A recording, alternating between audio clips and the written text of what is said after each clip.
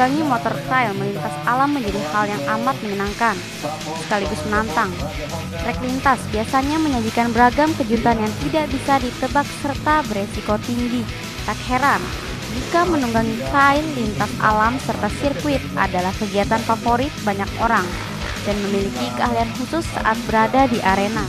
Wakil Bupati Kutai Kartanegara, Edi Damansyah memberikan apresiasi kepada penyelenggara karena kegiatan tersebut selain menjadi olahraga, motor trail juga dikemas sebagai hiburan sehingga menarik peminat untuk mengikuti trial game semakin banyak.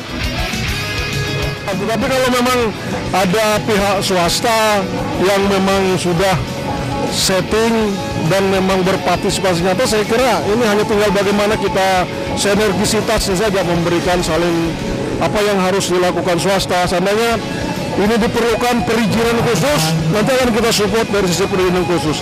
Saya kira hal-hal seperti itu saya pastikan hari ini akan kita berikan dukungan secara pasti kepada kegiatan seperti ini. Sementara owner BNR Sirkuit, Sony Rizaldi mengatakan, sebelum berlomba, para crosser lebih dulu akan diberikan arahan dari pengawas lomba, termasuk bagaimana cara melalui handicap yang telah disiapkan sehingga tidak terjadi kesalahan fatal.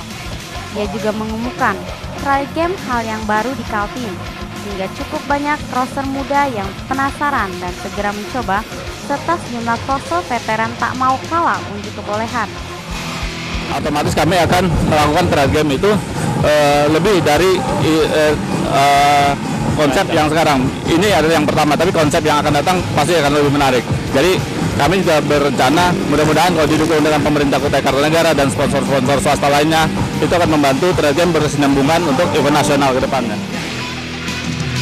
Berlangsung di Kecamatan Anggana, Kutai Kartanegara, pekan lalu Trial Game 2016 tidak hanya diikuti para cross Kaltim saja, namun juga peserta dari Pulau Jawa dengan menghadirkan puluhan klub motor cross.